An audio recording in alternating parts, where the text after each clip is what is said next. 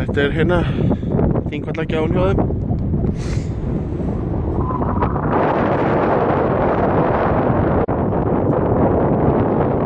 Svona flottar hjá okkur.